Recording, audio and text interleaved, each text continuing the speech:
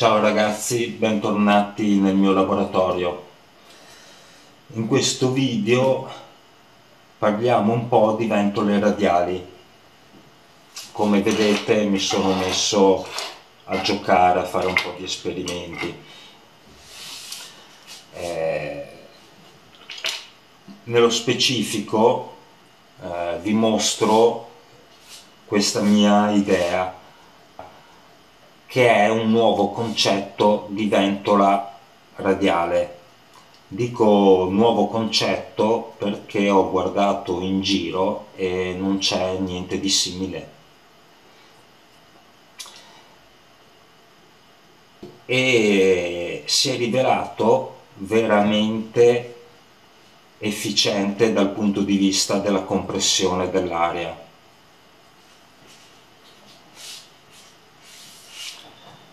Ora, il tutto è nato perché avevo bisogno di fare una ventola di aereazione per il locale caldaia di mia madre. E quindi ho fatto questa.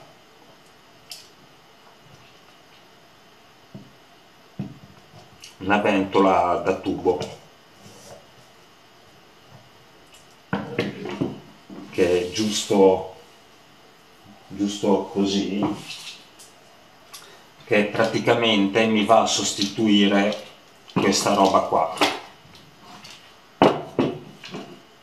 Allora questo adattatore l'ho fatto prima che avessi la stampante 3D infatti originariamente c'era questo adattatore con questo ventolone per riuscire a buttare fuori l'aria Dopo questo ventolone si sono rovinati i cuscinetti, è iniziato a fischiare e quindi l'ho sostituito con uh, il mio adattatore che aumenta la pressione statica e una ventola meno potente e ottenevo lo stesso risultato.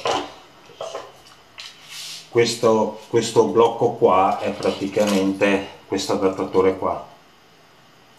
Per chi non lo conosce tra le schede vi metto il link a, a, ai video di questo. E niente. Adesso tutta sta roba qua viene sostituita da questa cosa qua. Diciamo c'è stato un notevole miglioramento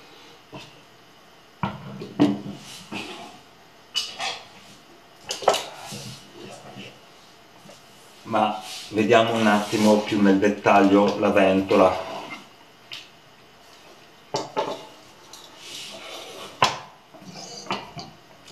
Ora questa l'ho pensata eh, per eh, buttare aria dentro il pc eh, quindi qua volevo farci un adattatore eh, per un filtro antipolvere e quindi buttare dentro aria nel PC e creare un ambiente senza polvere all'interno del PC.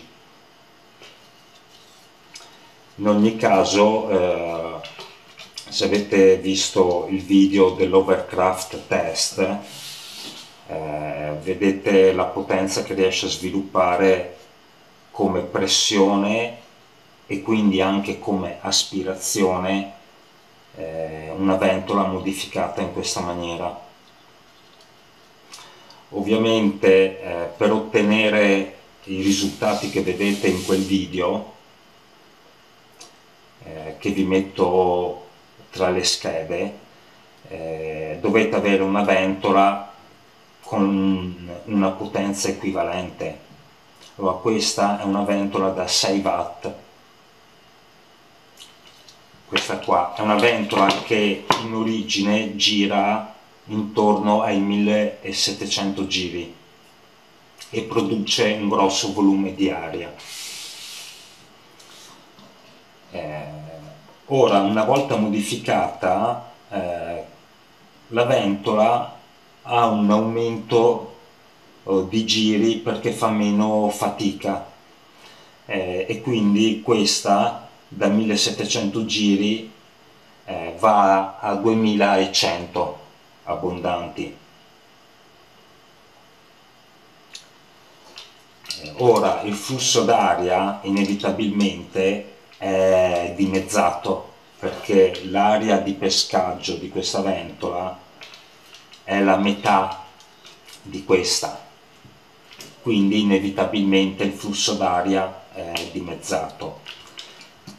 Però la, il notevole incremento di pressione è veramente incredibile.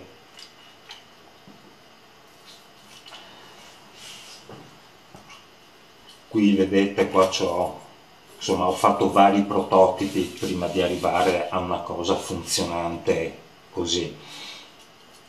Comunque concettualmente eh, aspiro l'aria lateralmente e poi la, la curvo di 90 gradi ma continuando a spingerla.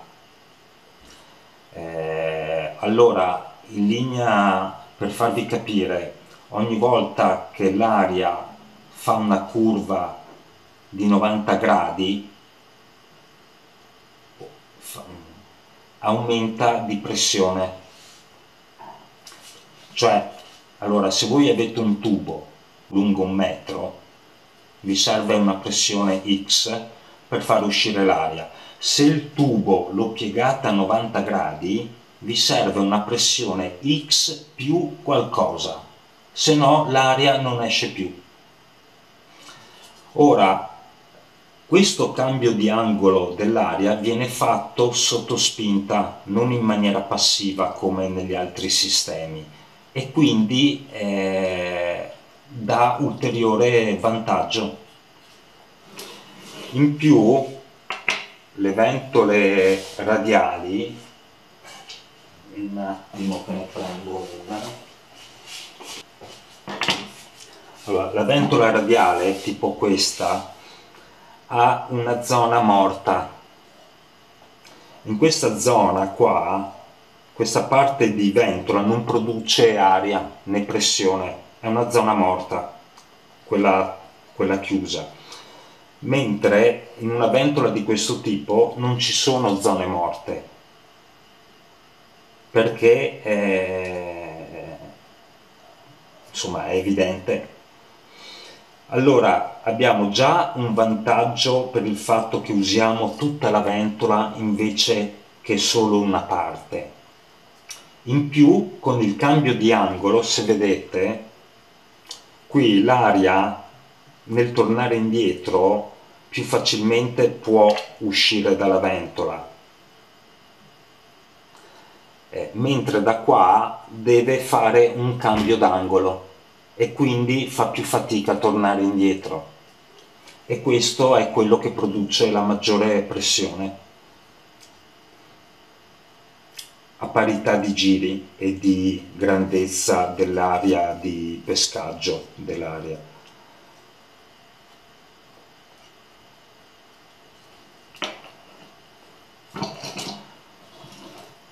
Ora eh, qua sto preparando un kit eh, di upgrade per poterlo adattare a varie dimensioni del motore.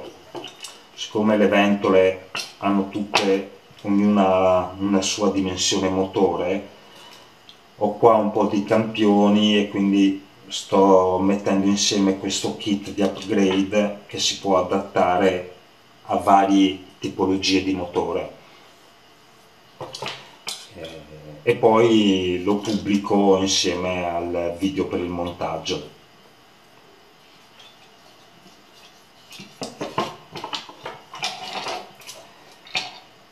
Che altro dire? Eh, ah,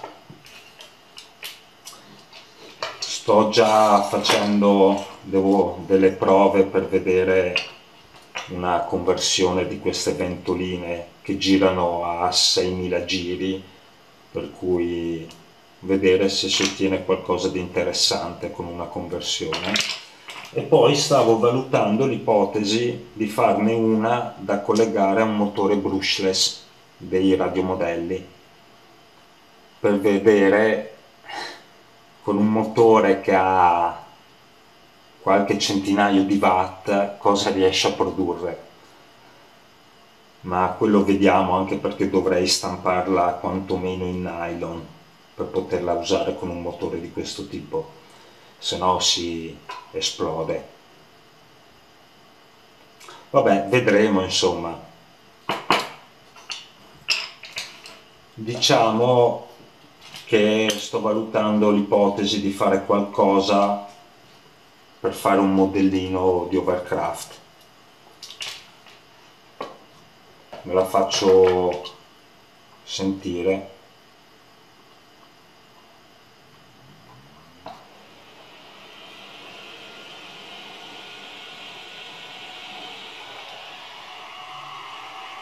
Cioè quando arrivate a questa altezza inizia a perdere peso. Cioè talmente è la spinta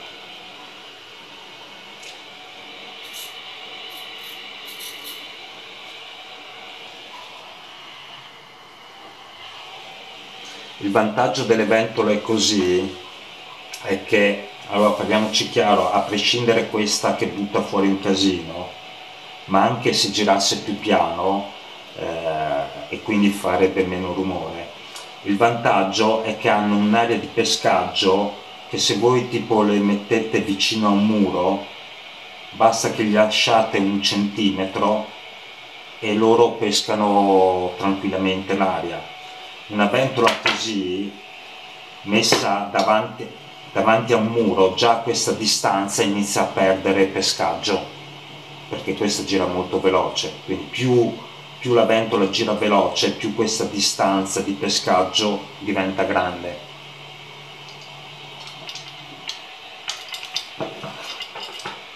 E...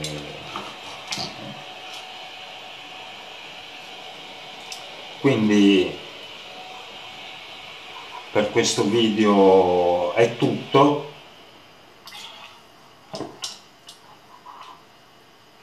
Ci vediamo al prossimo e vediamo cos'altro tiro fuori sperimentando con questo tipo di, di girante.